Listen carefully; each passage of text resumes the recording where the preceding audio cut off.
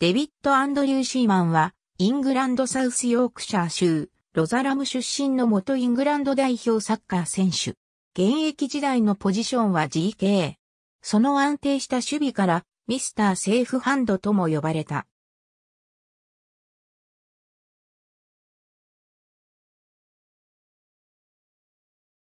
1981年にファーストディビジョンのリーズユナイテッドでキャリアをスタートさせ、同国のピーターバラユナイテッド、バーミンガムシティを経て、1990年にマンチェスターユナイテッドからのオファーを断り、GK の選手としては当時の最高額でアーセナルに入団。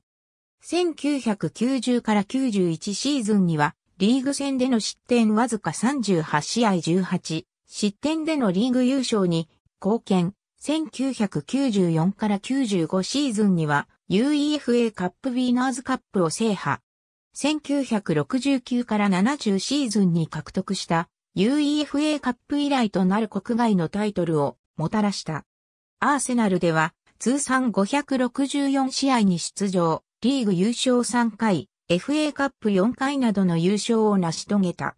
イングランド代表としては1988年11月のサウジアラビア戦でデビュー。